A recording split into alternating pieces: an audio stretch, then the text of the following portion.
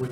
Bonsoir, mesdames et messieurs. Nous sommes ici aujourd'hui pour commémorer le 150e anniversaire du décès de Pierre-Marcel Bardi.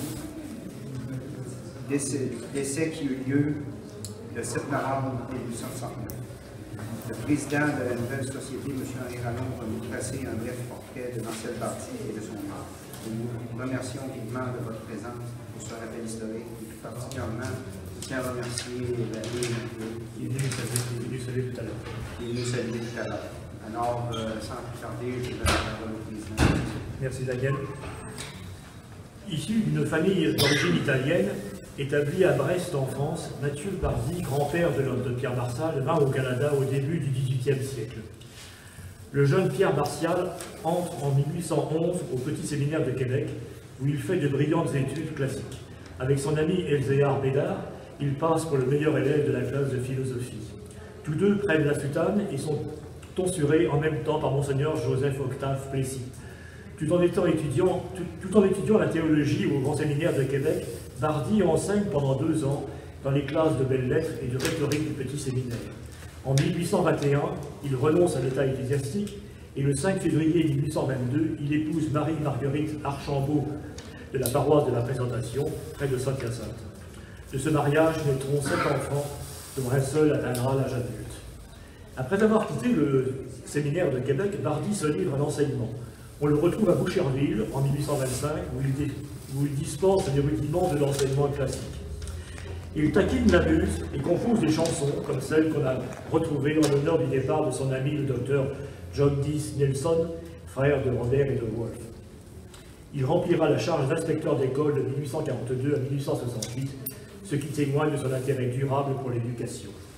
De 1824 à 1829, Bardi s'intéresse aussi à la médecine. Il étudie avec le docteur William Robertson de Montréal et reçoit son diplôme le 13 novembre 1829.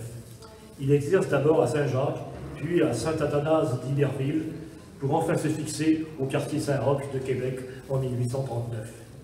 Il pratique au milieu d'une population de travailleurs avec son collègue Édouard Rousseau et laisse une réputation de grand dévouement et de charité. Ami intime de Louis-Joseph Papineau et ardent patriote, Bardi se présente en 1834 comme candidat dans le comté de Rouville. Il défait facilement le candidat bureaucrate et siège à la Chambre d'Assemblée de 1834 à 1838.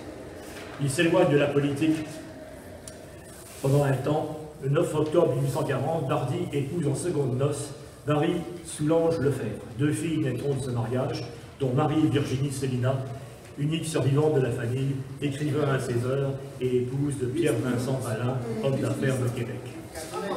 Le 19 juin 1842, au lendemain de l'acte d'union, perçu comme une mesure destinée à perdre la nationalité canadienne et française, une grande assemblée se tient à Saint-Roch.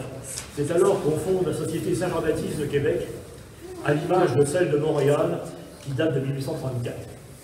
Bardi, l'un des plus fervents apôtres du projet, est élu président.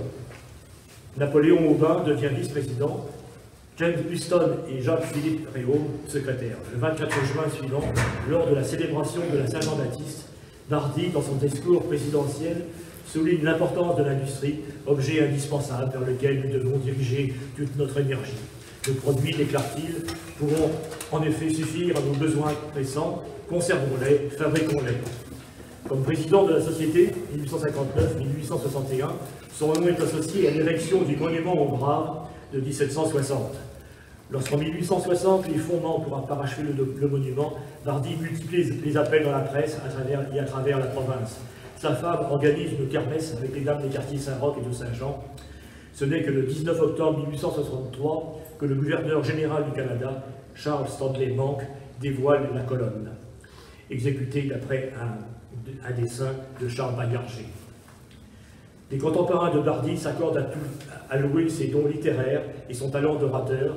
Décédé à Saint-Roch le 7 novembre 1869 à l'âge de 71 ans, il eut l'honneur d'être inhumé dans la, dans la- crypte de la basilique de Québec. Une rue de Québec porte également son nom, ainsi qu'il existe également une plaque commémorative dans le parc situé qui porte son nom et qui est situé dans le quartier Mézeray. Et je lui donc ici pour terminer un, bref passage, une lettre de sa fille, Célina Bardi. Je vis se dérouler lentement et par, par une réminiscence graduée tout un monde de souvenirs où les figures, couvertes d'enveloppes diaphanes, prenaient presque la forme vivante de ceux qui ont embelli la terre par leur vertu, ou ébloui le monde par l'éclat de leur brillante renommée. Merci encore une fois de votre présence. Et nous allons maintenant déposer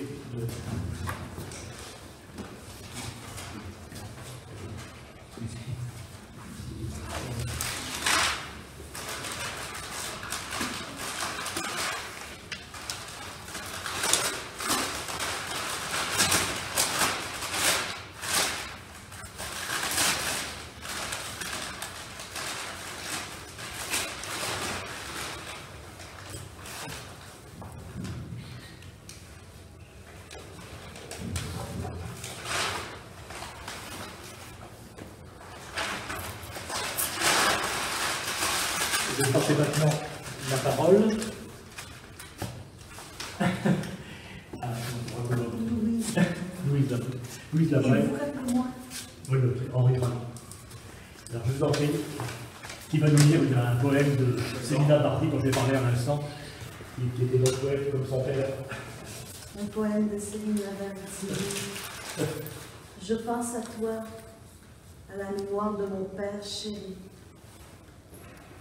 Quand la pervenche timide du soleil craignant l'ardeur, sous quelques feuillages humides, au regard cache sa fleur.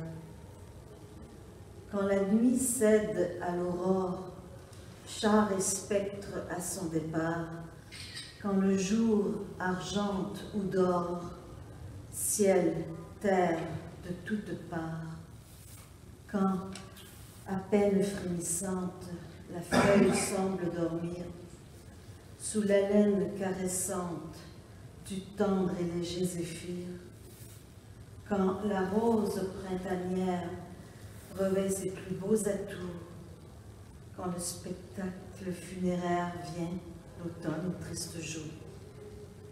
Quand Phébé, capricieuse, réjouit le firmament. Quand l'onde mystérieuse devient cristal charmant. À toi je pense. Ta mémoire est ineffaçable en moi. Car mon bonheur et ma gloire, ô Père, c'est toujours toi. Merci.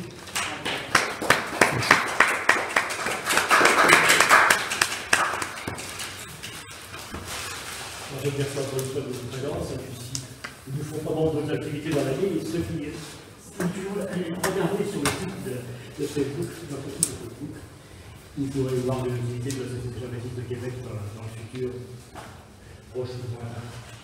Je pense que nous sommes bons pour bien aller, c'est une on commence à faire des choses.